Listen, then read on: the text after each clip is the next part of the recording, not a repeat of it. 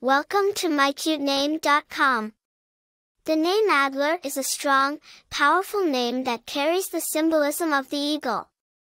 In many cultures, the eagle is a symbol of power, freedom, and transcendence.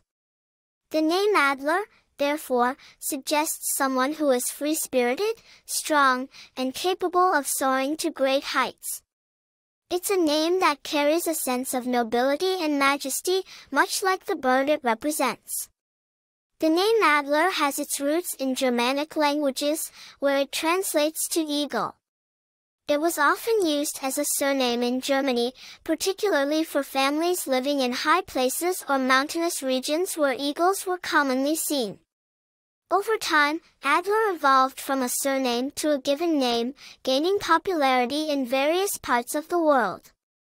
It's a name that has been used for centuries, carrying with it a sense of history and tradition. Famous people named Adler. One of the most notable people named Adler is Adler Planetarium's namesake, Max Adler. He was a prominent businessman and philanthropist in the early 20th century. Popularity While not extremely common, Adler has seen a steady increase in popularity over the years. It's a unique choice for parents looking for a name that is traditional yet distinctive. Personality traits People named Adler are often thought to be strong, independent, and ambitious, much like the eagle the name represents. They are seen as leaders, not followers, with a clear vision of what they want in life. Attractive information.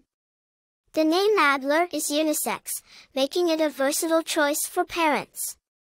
It's a name that carries a sense of elegance and sophistication, making it a standout choice in any crowd. For more interesting information, visit mycutename.com.